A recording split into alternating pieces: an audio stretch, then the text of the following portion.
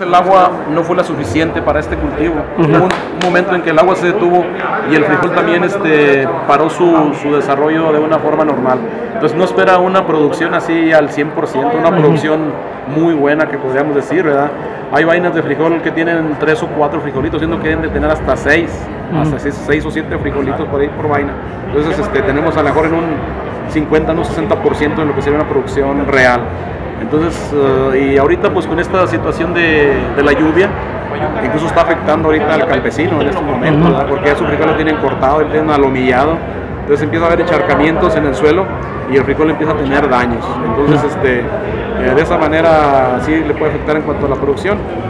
Y en el caso de- de- del cerrado de fronteras para nuestro país en México, pues sería una muy buena medida, ¿eh? sería muy buena medida, porque de esa manera este, el frijol de nuestro estado, de nuestros municipios, este, pues tendría la forma de cómo comercializarse más fácil, cómo venderse.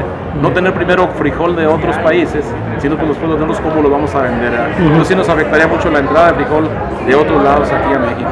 Sí, señor, finalmente, eh, ¿cómo están en este momento las labores del DIF municipal en relación sobre todo a que se espera, pues si no una gran cantidad de personas repatriadas por la misma situación que se está viviendo en Estados Unidos? ¿El DIF municipal en un momento tiene contemplado algún programa o plan de, de apoyo para quienes eh, busquen regresar a sus lugares de origen? Eh, bueno, este, ahí la labor de- del DIF municipal, este, bueno, tiene que estar en muy eh, en comunicación, en mucho acuerdo con el DIF estatal y que verdaderamente bueno que se está dando ese lazo de, de unión, de ayuda mutua entre los DIF del estado y el municipio y bueno, se han emprendido programas, están emprendiendo programas de ayudar a las personas este, más vulnerables en las comunidades, en los pueblos que necesitan más la gente, con alimentos, este, con ese programa de la gota de ayuda, con los uniformes escolares, que de todos modos sí ayuda a, sí ayuda, como le dijera, en la economía familiar de alguna u otra manera, ¿verdad? Cuando la gente viene, cuando llega gente de aquí a Estados Unidos, bueno, pues por las mismas condiciones que ellos viven allá, aquí de todos modos este, habrá, pues, puede ser unas mejores condiciones de vida, hay facilidad. ¿Se tienen eh, programas para el cierre del año, señor? En cuanto al DIF municipal, Eh, pero, programas para el cierre del año.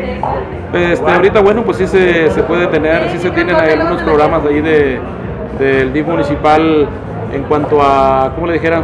Es lo que les estaba comentando, a la ayuda de las personas, ayudarles eh, en sus necesidades básicas. ¿Cómo ha sido el apoyo de parte de los conacionales de las comunidades en el exterior para apoyar a sus lugares de origen? Este, fíjese que ahí para el municipio de Nuevo Ideal, este, ya, ya- recibimos algún tipo de ayuda, ¿eh? ya hubo algún tipo de ayuda de, de unas personas de- del extranjero que hace unos meses vinieron a Nuevo A visitar, a hacer un recorrido por las comunidades, por los pueblos más marginados.